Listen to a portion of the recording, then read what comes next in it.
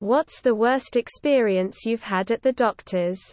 Was in a fight. Got pushed through a glass door. There was a foot-long piece of glass in my back. Emergency room removed it and sewed me up. A month later I was still in a lot of pain especially when sitting back. Turns out they left a 3-inch piece in. So that was fun. I was pretty drunk one night as went to emergency to get stitches after cutting my hand open on broken glass. The doctor in training. Resident? Intern? I don't know the term. Was tasked with stitching my hand but she had to wait for the senior doctor on duty to inspect the job first after she was done. Twice the doctor said, nope. No good, and made her redo it before the senior doctor got annoyed enough to do it himself on their third time. The poor young doctor was so down about it. I was entirely too wasted to feel any pain and just told her to keep her chin up. Cut my hand while making dinner one night and needed stitches. My boyfriend drove me to emergency and the nurses made me wait in a solitary side room because all of the blood on me was scaring children.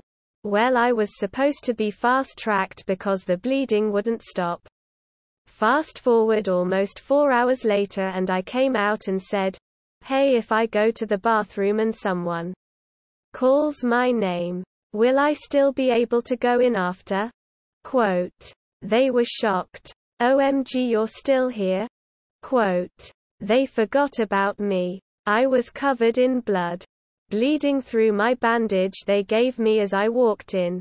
And they forgot about me in this dark, quiet room, having the same procedure done three times on my face by one doctor. Third time the local anesthesia didn't work so I felt the scalpel and all the cutting near my eye. It got infected and I almost lost my sight. Had to get a second opinion due to the infection being so bad. That doctor was mortified and put me to sleep for surgery. No problems after that and he said that surgery should have never been done while awake. News to me. Original doctor ended up being sued by several clients for fraud and he lost his license less than a year after botching my face. I've been offered plastic surgery by the last doctor to clean up all the scar tissue but it makes me who I am and adds character. Definitely more embarrassing than dangerous. But the first time I got my IUD inserted, the gynecologist was super disappointed that I hadn't shaved my pubic hair off. She gave me such an angry lecture. It made me feel like I had missed some key knowledge about the importance of a bald pussy maternal fetal health visit about 18 weeks into my wife's pregnancy. This was our second pregnancy. The first ending in miscarriage. Things had been progressing fine and he had multiple visits with no issues. This was the visit where you see if anything is wrong with your baby. Heartbeat was good. A quick glance on the screen looked normal to my eyes but the doctor was looking for specific things to indicate any issues. And started to find some. That visit went from exciting to devastating very quickly. The doctor was quiet while they searched for things on the ultrasound and then broke the news by saying he was sorry to say that there were genetic abnormalities in the heart and other areas. The second worst visit was the next day when my wife had to get an amniocentesis.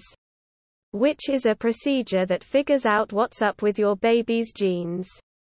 It's a long-ass needle they stick through a woman's belly and into her uterus to pull out fluid. Those were two horrible visits back to back. Turns out it was something called triploidy and it was amazing our baby even made it to 18 weeks. She ended up making it to 25 weeks before having no heartbeat where she was delivered still. I was inpatient at a well-known children's hospital when I was about four. Late one night there was a kid in the bed next to me who started crying for his mom. I'd been doing okay until this point. But it set me off crying too. A nurse came into the room and yelled at us to both stop crying. Or she'd give us something to really cry about.